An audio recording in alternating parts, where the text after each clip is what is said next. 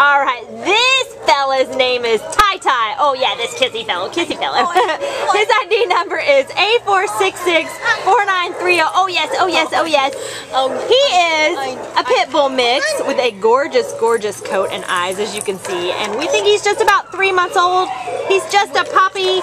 He came in as an owner surrender on December 31st, um, and he weighs about 21 pounds. And as you can see, he's got a little injury, but that does not stop this guy. Um, he doesn't even seem to know he has an injury.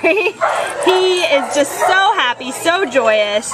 His tail never stops wagging, and as you can see, he just kiss, kiss, kiss all day long.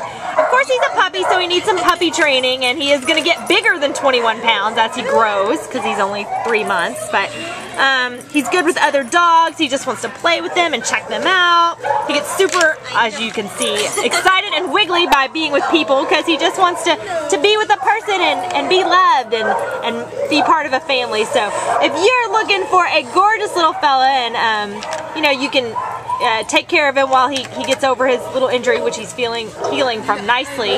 Um, we would love to see him be part of your family, and he'd even be good, you know, with an active individual also. So anywhere he goes, he's going to be great as long as he, you know, gets his puppy training and, and gets a lot of love. So come on down to meet Ty Ty today at the Baldwin Park Shelter. He will soon have this cone off, and you will be able to get kisses without the cone. Right, Ty Ty? He can't wait for that. yeah, yeah, yeah.